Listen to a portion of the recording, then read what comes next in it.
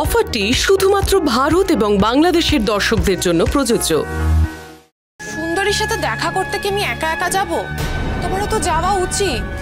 সেদিন ও যদি তোমাকে না আটকাতো, তাহলে আজকে কত বড় অঘটন ঘটে যেত বলো তো আর তুমি তো আস্তে আস্তে বলছিলে, ও আমাদের সন্তানের ভালোর জন্য নিজেকে মিথ্যেবাদী প্রমাণ করল। আমাদের দুজনেরই ওর কাছে কৃতজ্ঞ থাকা উচিত।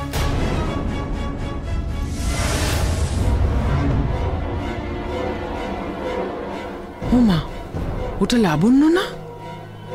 কিন্তু ছেলেটাকে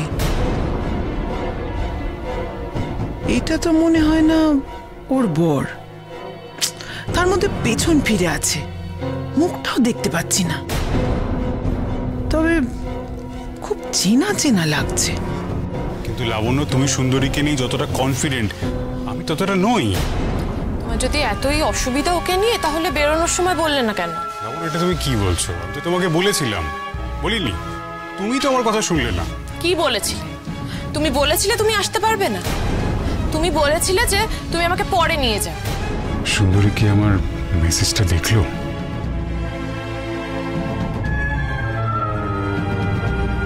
ছেলেটা কে? কার মতো যেন লাগছে?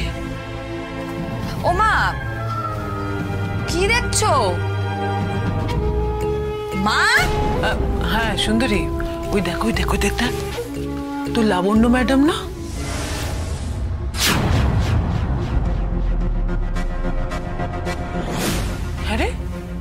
সাথে ওই ছেলেটাকে রে?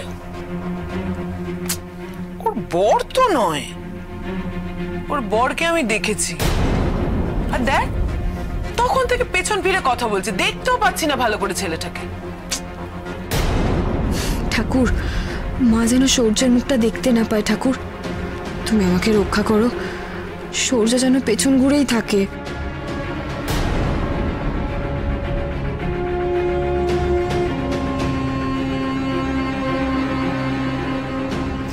মা, ও মা, এইদিকে এসো না, তুমি কেন রে? দাঁড়া না। বলছি, দেখতেই তো পাচ্ছ লাবণ্য ম্যাডাম এসেছেন।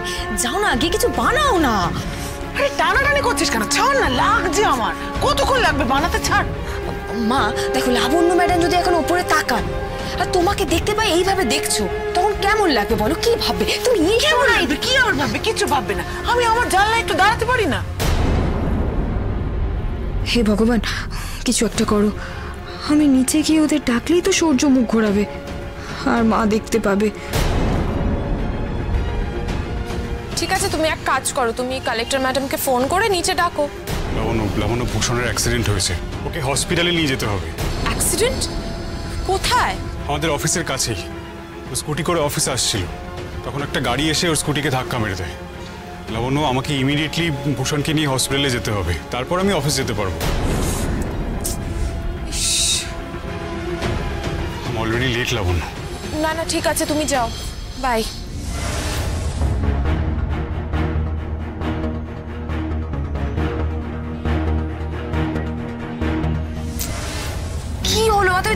দাঁড়িয়ে আছো কেন? চলো না নিচে চলো। দাঁড়া না। দূর আমি লাবণ্য ম্যাডামকে নিচে আনতে যাচ্ছি। এই শোন শোন। এদিকে দেখ তুই দেখ দেখ দেখ ভালো করে দেখ ওই দেখ। দেখ একটা পর পুরুষকে কীভাবে জড়িয়ে ধরছে। যাই বলিস তুই তোর ওই লাবণ্য ম্যাডামের চরিত্র কিন্তু একদম ভালো না। বাবা ছি ছি ছি ছি ছি। একটা পর পুরুষকে ওরকম আষ্টে পৃষ্ঠে জড়িয়ে ধরছে। ছি ছি দেখ দেখ ওই দেখ। হুম হুম হুম হুম। ছি ছি ছি ছি।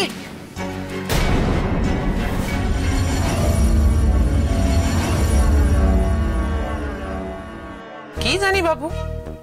এই শহরে মেয়েদের মতিগতি আমার একদম ভালো লাগে না। যাকে যাক। চ নিচে যাবি বলছিলিস? চল যাই। না থাক। ওমা না থাক কেন? এই তো বললি নিচে গিয়ে লাবণ্য ম্যাডামকে নিয়ে আসবি। চ। কি রে? উফ সূর্য যে কেন এত দেরি করছে আমি বুঝতে পারছি না। কেন দাঁড়িয়ে আছে?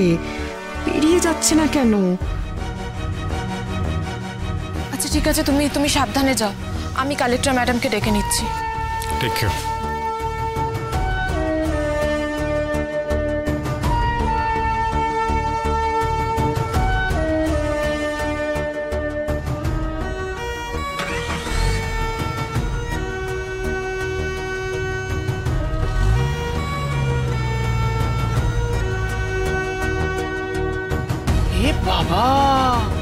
যা। চলে গেল। ভালো করে ছেলেটাকে দেখতেই পেলাম না চলে গেল। এর থেকে নিচে গেলেই ভালো হতো। আসুন ম্যাডাম আসুন। এসো এসো এসো এসো। বসো বসো। থাক থাক থাক মা। এই অবস্থায় এই সময় ঝুঁকতে নেই। আমি তোমাকে আশীর্বাদ করি। তুমি খুব সুখে থাকো। স্বামী সন্তান নিয়ে সুখে শান্তিতে ঘর সংসার করো। মা মা তুমি যাও না লাবণ্য ম্যাডামের জন্য একটু কফি বানিয়ে আনো না। হ্যাঁ হ্যাঁ হ্যাঁ আনছি আনছি। বসো মা বসো। ম্যাডাম বসু। কেমন